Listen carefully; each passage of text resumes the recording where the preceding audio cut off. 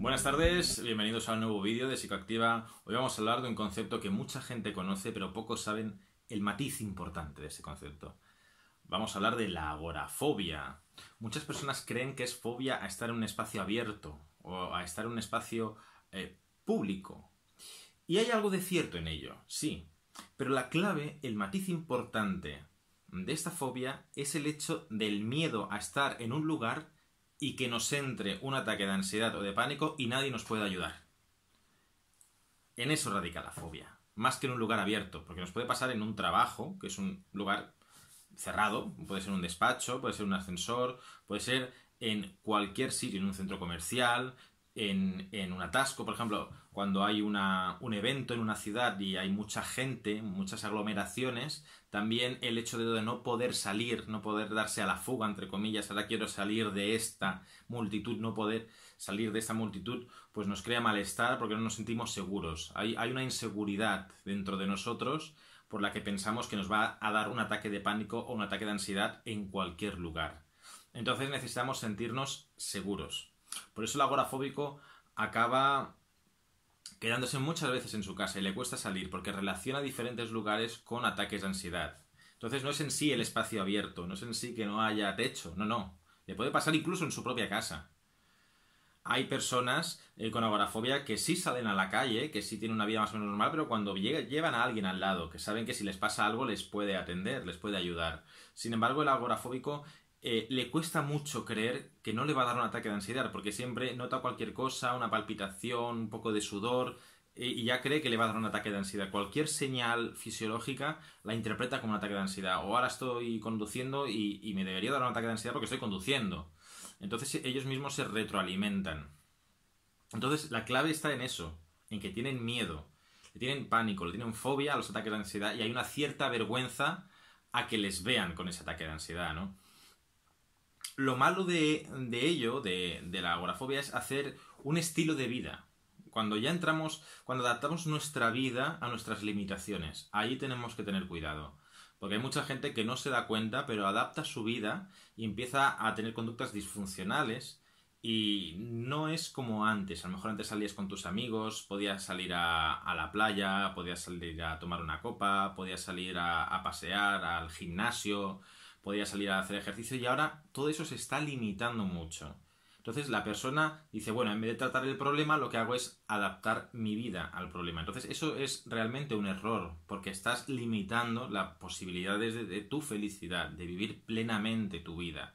El agorafóbico al final se acaba adaptando para no sufrir esos ataques de ansiedad. Entonces es muy recomendable ir a, ir a terapia, que de hecho una de las terapias que se, que se aconsejan, ¿no? Porque para tratar esto sería la terapia cognitivo-conductual, por ejemplo. También la terapia en grupo para conocer a otras personas que están en la misma situación que tú, gente que está peor, gente que está mejor, que ha evolucionado, para que eh, intercambiéis opiniones. Entonces también la terapia cognitivo-conductual para darle herramientas a esa persona para eh, poder afrontar esa, ansiedad, para aprender a controlar su ansiedad.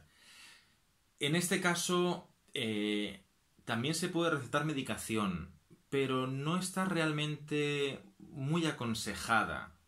Eh, se dan sobre todo ansiolíticos y antidepresivos. Los ansiolíticos en realidad sirven, pueden servir como, muletas, sin embargo tienen eh, varias contraindicaciones. Una de ellas es que son adictivos. Los ansiolíticos crean adicción. Eh, por otro lado, es que solamente rebaja lo que, lo que es la ansiedad. Entonces es verdad que te puede eh, facilitar el salir, pero estás dependiendo de una pastilla. ¿De acuerdo? Entonces es un poco el círculo vicioso que se. el, pez que se muerde la cola, ¿no?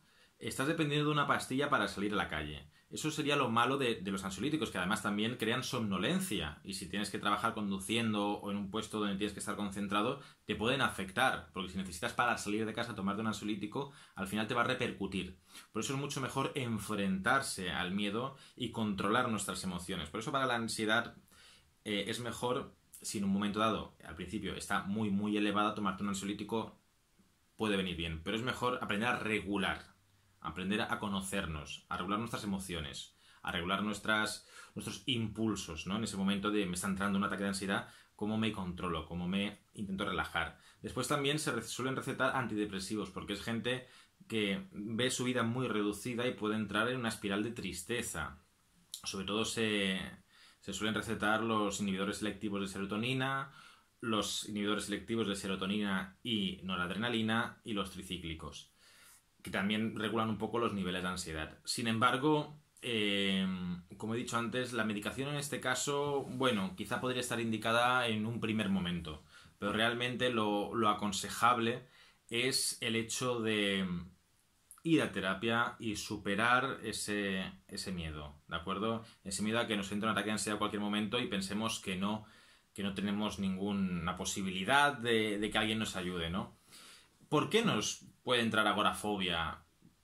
Puede ser, por ejemplo, ver a alguien eh, que se atraganta en un restaurante y tenemos miedo de que nos pase a nosotros. Entonces no voy a ir a un restaurante a comer porque me puedo atragantar y me puede pasar algo. O no voy a ir solo a un restaurante a comer porque si estoy solo nadie me va a salvar, nadie me va a hacer, nadie me va a hacer esta maniobra que ahora no recuerdo el nombre, me vais a perdonar, para, para, para salvarme la vida, ¿no?